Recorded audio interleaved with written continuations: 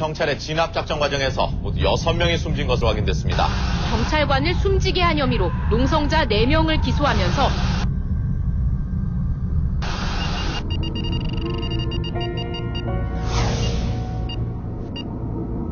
공삼시 정각에 경찰 특공대 버스에 탑승한 후 03시 30분경에 현장에 도착했습니다. 뭔 신나가 몇 통이다 그런 부분은 저희가 연락을 못 드렸습니다.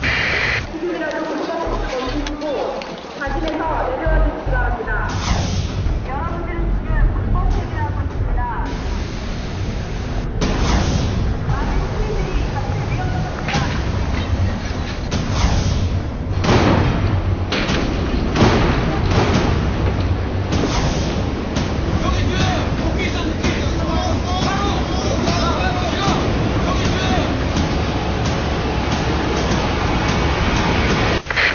올때 빨리 쏴!